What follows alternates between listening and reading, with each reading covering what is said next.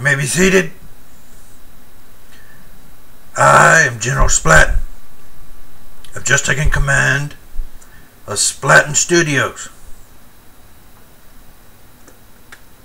Now, I want you to remember that no poor dumb bozo ever won a tabletop war by dying for his faction.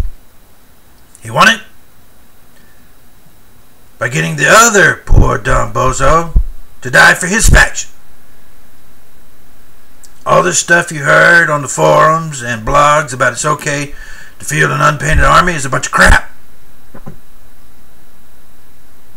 True war gamers love the sting of battle and the smell of paint.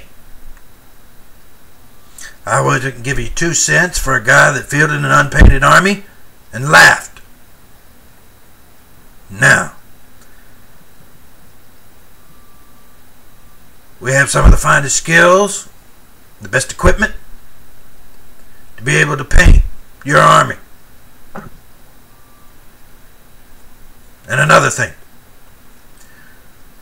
I don't want to get any reports from front lines that we are fielding unpainted armies. We're not fielding unpainted anything. Let the heathen do that.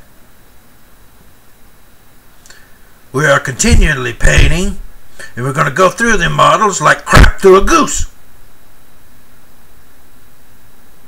Now,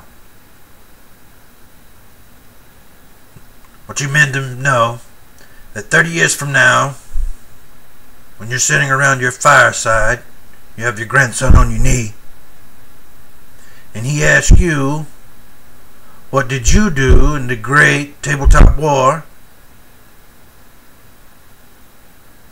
You don't have to say, Well, I tried to field an unpainted army and they made me play Pokemon instead.